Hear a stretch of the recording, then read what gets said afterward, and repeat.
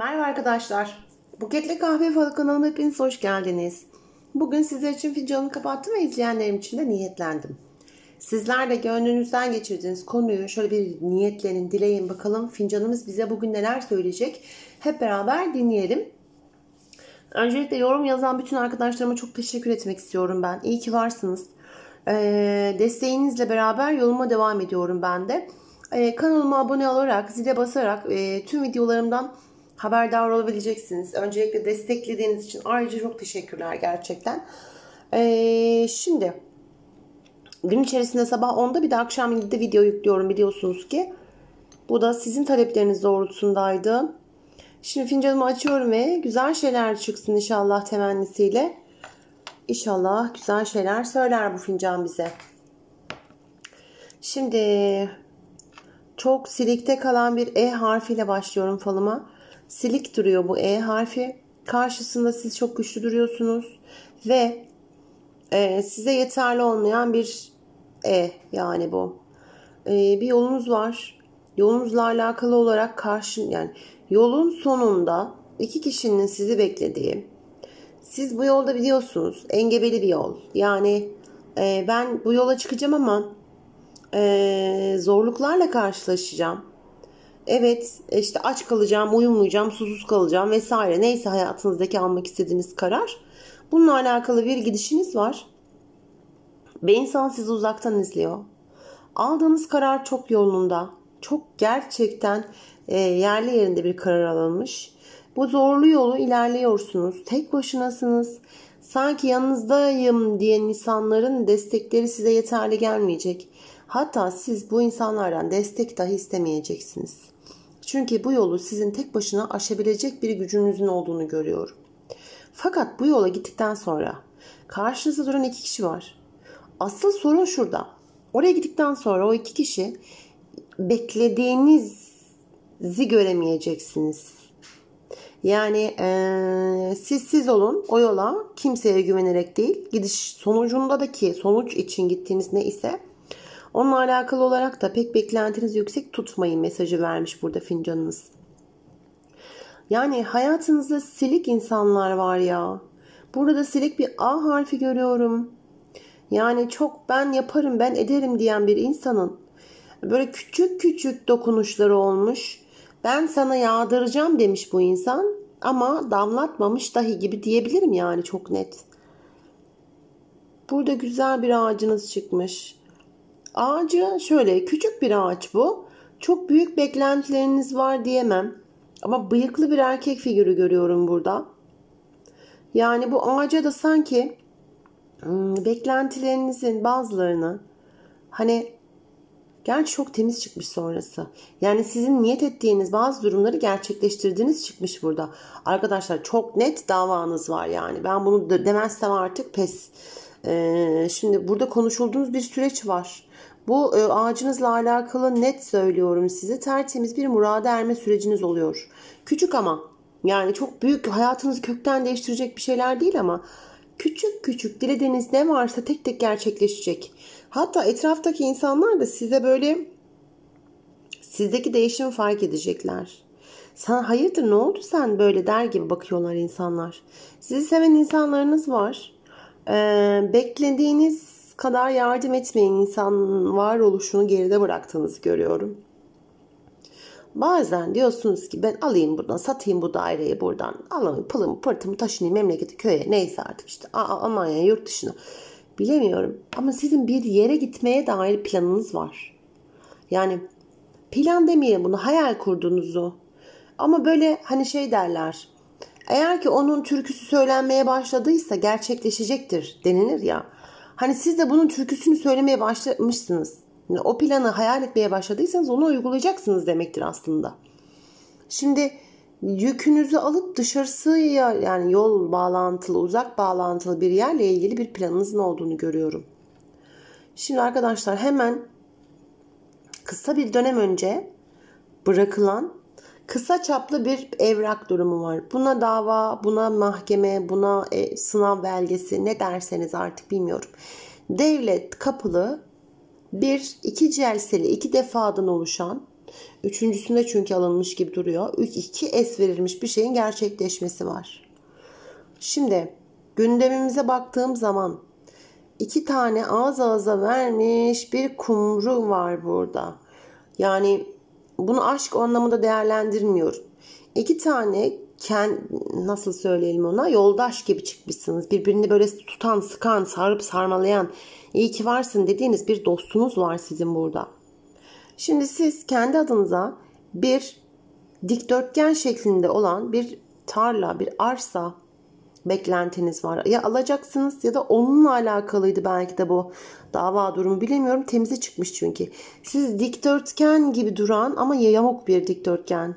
Arsanın üzerinde durmuş görüyorum sizi. Çıkmışsınız, nasibinizi almışsınız. Yani bir yerden miras gelebilir, bir yerden satın alabilirsiniz. Hakkınız olan şeyi geri alabilirsiniz. Onu bilemem. Bununla alakalı da böyle yoldaş dediğimiz böyle sır, sırrınızı verdiğiniz çok yakın gördüğünüz insanla bunun müjdesini de kutluyor gibi çıkmışsınız. Burada temiz çıkmış bu insan. Şimdi iki insan karşılıklı konuşuyor burada. Elinde bir ip düşünün. Balon düşünün.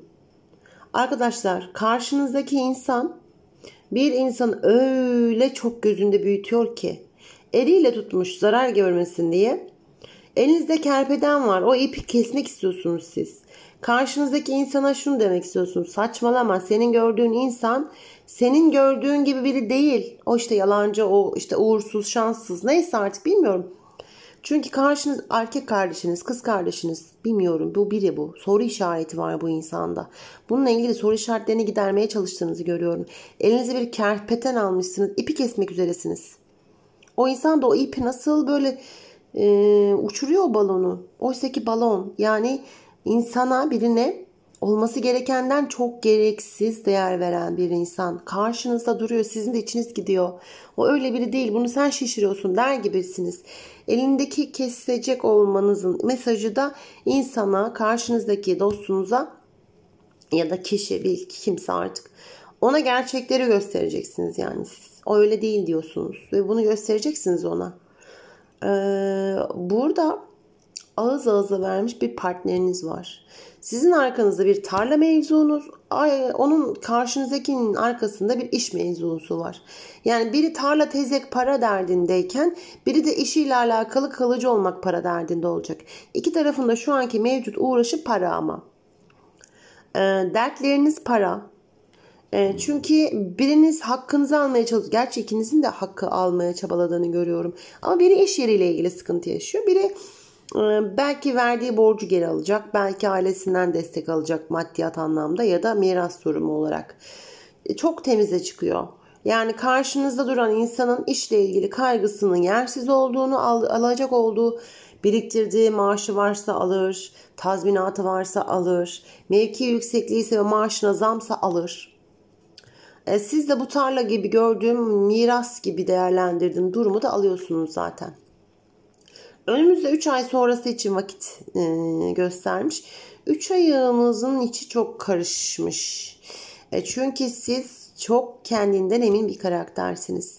Ben yaparım, kimse de karışmasın diyen bir insansınız. Boş konuşmalara da tahammülünüz yok.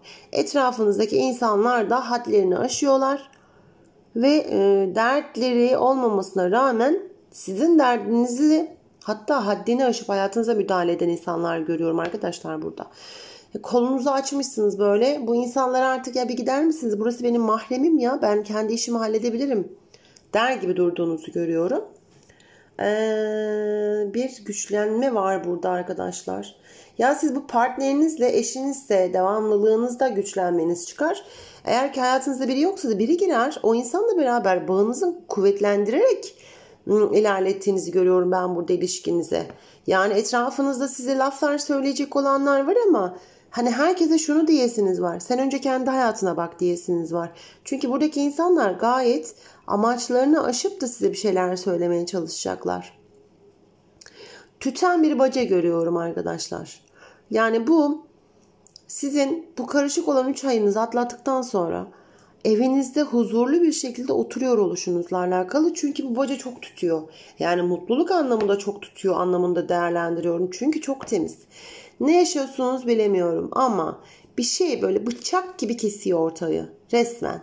Yani ya siz bu insanların hakkınıza konuştuğan, bu konuşan fikir veren insanlara artık yeter deyip de susturma durumunda düşüyorsunuz ki susuyorlar. Çünkü önü çok aydınlık bir şekilde temiz susuyorlar yani. Ee, vallahi bir tane böyle dinozor gibi gördüğüm sırtında yükün taşıyan bir insan var. Siz de bu insanın arkanızı dönmüşsünüz. Sizi birileri küstürmüş. Şey de der gibisiniz. Sen şu saatten sonra bana dünyaları sersen ne? Der gibisiniz. Bu sizin ablanız, abiniz, yakınınız bilemiyorum. Bir insan sizi oldukça küstürmüş ama onu gördüm. Soru işaretiniz var. Ve soru işareti çok enteresan kurt şeklinde. İki kişiyle alakalı bakın hatta tam da başınızı kaldırmış bu iki kişiye bakıyorsunuz. İki kişiyle alakalı bir soru işaretiniz var. Acaba bana bunu yapmış mıdır? Acaba bana bunu söylemiş midir? Der gibisiniz. Fakat kurt yani yersiz bir soru işareti bu. Hani oturup konuşsanız belki onun yersiz olduğunu öğrenebilirsiniz. O yüzden buradaki mesaj şu. E, iki insana karşı içini kemiren şeylerin yersiz olduğunu sana zaman gösterecek diyor bu fincan yani. Bir nal çıkmış at nalı şanslı bir sürece gireceksiniz ki o at nalından sonra çok güzel tüten bir ocak görüyorum. Şanslı süreciniz var arkadaşlar. Bu 3 e, aylık süreciniz sizin kafanızı karıştırabilir evet. Ama sonrasında bir şeyler böyle bıçak gibi kesecek emin olun buna. Net söylüyorum. Sonrası çok ferah. Ne kadar kısmetli bir sürece ilerleyişiniz var. Gelecek güzel haberleriniz var. Dimdik durmanız var. Hani böyle kendi adınıza temiz ve beyaz bir sayfa açacaksınız. Tüm karışıklığınızı geride bırakacaksınız arkadaşlar.